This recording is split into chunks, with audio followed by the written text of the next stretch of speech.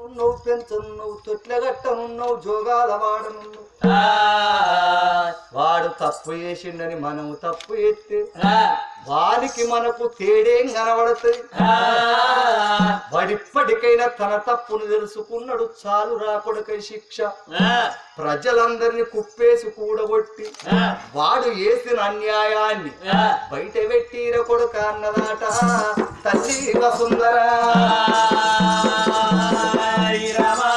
కడిగితే ఆ నిందె పోతదా ప్రజలందరినీ కుప్పేసి గడ్డాన కాపులు కమ్మైలమ తొర్లు కంకడి కంకడి మిరియాలు ఉక్కిన గతి విరుతురుకలు గొల్లలు సాలా సాకలి తెలుగు తెంకరి పట్టెండు పట్టు వారు దొరలు దొరసాను సభా ఫలివారమంతా కొలువు తీరి కూర్చుండి ఉండంగా. అదే కచ్చేరి మీద కూర్చున్నా. సుబ్బిశెట్టి ఒక్కొక్క తప్పును. ఒక్కొక్కడి పూస ఉచ్చినట్టు. వసుంధర దేవి తప్పు లేదు. నేనే కామ క్రోధుడనాయి సుంకరి మల్లయ్యను కట్టుకొని. అద్దుమ్మ రాత్రి వాని ఇంట దోరింది నేనే గొల్లాలి పెట్టింది నేనే. మిమ్మల్ని నమ్మిచ్చింది నేనే. ఆమెకు వట్టిగా పాపం ఒడి కట్టిన. నేను పాపముల వడి చచ్చిపోతున్నా. తల్లిదేమో తప్పు లేదని. అగ కోటమ్మ ప్రజలు దూరంగా ఒప్పుకున్నాడు అతనే. సుబ్బిశెట్టి నేడు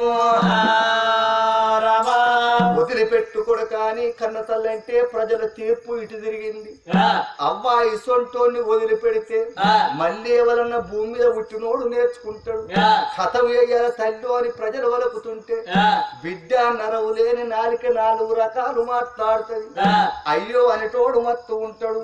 అప్పైతే కట్టేటోడు ఎవడు ఉంటాడు బిడ్డో? బిడ్డ పాపం మాకు తలుగుతుంది వద్దు కొడక వారి శిక్షల వాడే పోతాడు. వాడిని చంపుడెందుకు నాలుగు వద్దులేనక ముందు వాడు రావకెక్కడే ఉంటాడా? వాడు ఎన్ని రోజులున్నా మరణం తప్పని వరమాట. అన్ని అడుగు తిత్తడు పరమాత్ముడు. అడగక ముందిచ్చింది ఒక మరణమేనాటనే నా తల్లులారా. గిట్టినవాడు గిట్టక తప్పది గిట్టిన వానికి సావు తప్పది సచ్చినోనికి మరొక్క జన్మ తప్పది. ఆ.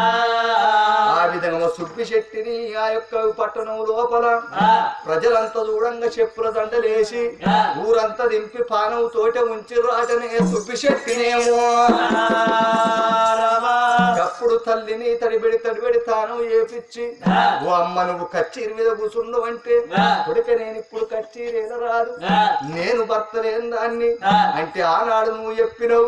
గాంభీర పట్టం లోపల గాంభీర మహారాజు పుత్రికను లగ్గం చేసుకుంటా అని అచ్చిరా అని చెప్పినవు. తిరిగి పోయి నీ మామ నొప్పించి కోడల్ని తీసుకొని రమ్మని చెప్పింది ఆ కన్న తల్లి. కొడుకు గానాడు కుర్ర వేసుకున్నాడు కన్న తండ్రి ఎత్తున్నాడు త్రివర్ణ మహారాజు నోట్లకెళ్ళి ఊసి పడ్డట్టున్నాడు. గాంభీర పట్నం వచ్చిండు మావను ఒప్పించి మెప్పించి ఆ. పిల్లను ఆ కుత్తులు దాపిన పచ్చని పల్లాకిలో ఊకుండబెట్టి సాగనంపంగా సారుడి నీళ్ళకు తందేసిండు తల్లి లేని బిడ్డ కడుపు లోపల దయ ఉంచు కళ్ళల్లో కోపం ఉంచుకో. బిడ్డ అత్తమామ సేవ ఎత్తి చెయ్యాలి. బావ మరుదులుంటే బాటిచ్చి నడవాలి. బిడ్డ అలిగి మెరి అత్తగారింటిలో ఉండకూడదు వంటశాలలోన కురులిప్పకూడదు.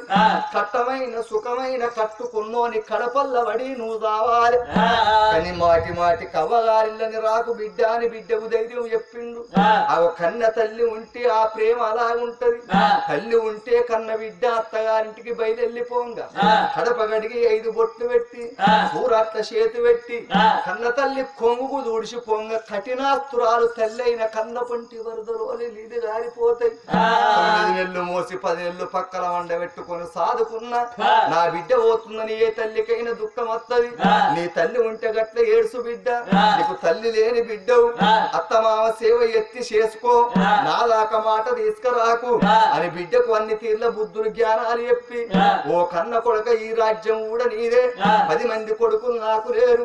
పది మంది బిడ్డలు నాకు లేరు. ఈ రాజ్యం నువ్వు వేరుకొమ్మన్నాడు ఆ చక్రవర్తి. అక్కడ భార్య లేకపాయ్ ఇక్కడ పిల్లగానికి తండ్రి లేపాయ్ వాళ్ళు కాళ్ళు గడిగి కన్యాదానం చెయ్యాలంటే ఎవరు చెయ్యాలనో ఆనాడు సాదుకున్నారు చెల్లె లెక్క సెంచుల గూడె వచ్చిండు. ఏడుగురు మేనమామలు అనుకున్నాడు ఏడుగురు అత్తలు తోలుకొని వాళ్ళ చేత కాళ్ళు గడిగి పిచ్చుకుంటున్నాని ఆ. ఏడుగురు మామల తోలుకొని ఏడుగురు అత్తలు తోలుకొని మామను తోలుకొని పీతరాశి పెద్దమ్మ ఇంటికొచ్చి ఆ. తల్లిని తోలుకొని ఆ. గంభీర పట్నాన్ని వదిలిపెట్టి సెంచు గూడె వచ్చి సెంచులను పట్టుకొని అవ త్రివర్ణ పురిపట్నం ఏ రెండు ఆ కన్న కొడుకు.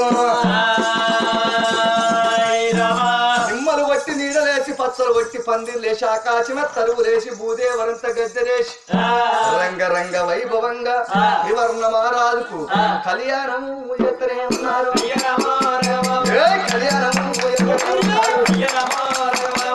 నాలుగు రోజుల నాలుగు రోజుల నాగవెల్లడిసి. కన్న కొడుకు శ్రావణ సోమవారం నాడు ఔసుల రావణ్ ఇంటికి పోయి రాజముద్రిక ఏమించక వచ్చి కుడి చేతికి పెట్టి కొడుక ఈ రాజ్యం తండ్రి ఎట్లా పరిపాలన చేసిందో మన నోట లేదని రావద్దు. కాదు అని అనకూడని రాజ్యమేన రాజు గుణవంతుడైతే పట్టణంలో ప్రజలు పాలు వంగినట్టుంటారు. ఈ రాజ్యాన్ని పరిపాలన చేయమని అగో కొడుకు చేతులు పెట్టిందాట వసుంధరాదేవి. ఎడమల ఏంటి పోసుకున్నాడు? కుడిన బంగారం పోసుకొని దాన తప్పు చేత బట్టి దాన ధర్మాలు ఎత్తున్నాడు. వసుంధర దేవి కొడుకు లగ్గము చేసి కొడుకు కచ్చి మీద ఊకుంటే ఆ. పట్టణముల కొమడి సుబ్బిశక్తి ఊకున్న కాడికే ధర్మదేవత అనేది లేదాట. గానాడు ధర్మదేవత నాలుగు పాదాల మీద నాట్యం ఆడింది. నెలకు మూడు వర్షాలు ఉరిసినాయి. నేస్తమైన పంటలు వండినాయి. అందుకే ఆడేటి భోగం వారు చూసేటి కాపు వారు బరి బరిరే ఆ పట్టణం బాగా ఉన్నది. చూసిన మక్క పెరన్ను ఏగేటి తాళ మధ్యను వాడేటి భోగం వారు. చూసేటి ప్రజానికం రంగరంగ వైభవంగా రాజ్యాన్ని పరిపాలన చేస్తున్నాడు ఆ కన్న కొడుకు. కన్న తల్లికో ఉయ్యాల కట్టిండు పేదరాశి పెద్దమ్మ నువ్వు దాగినవు నువ్వు లేకపోతే నా జన్మ ఎక్కడుండును. తల్లి లెక్క దారుకుంటా నా తల్లిని దాస్తున్నాడు. ఏడుగురుకు ఆ యొక్క సెంచు వాళ్ళకు దండం పెట్టిండు. మేనమామ లెక్క నా తల్లిని ఆదరించిండ్రు. మీకు కూడా దండం ఉండడు.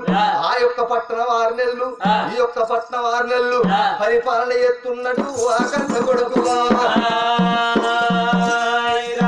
కళ్యాణ మహారాజుకు జై భవా కళ్యాణ మహారాజుకు జై భవా అని ప్రజలు వలుకుతున్నారు. రంగరంగ వైభవంగా రాజ్యాన్ని పరిపాలన చేస్తున్నాడు ఈ కథాగానం ఇంతటితో సంపూర్ణం. కథ ఎప్పించిన వాళ్ళకు నూరేం లాయుసు చెప్పిన వాళ్ళకు నూరేం లాయుసు విన్న వాళ్ళకు నూరేం లాయుసు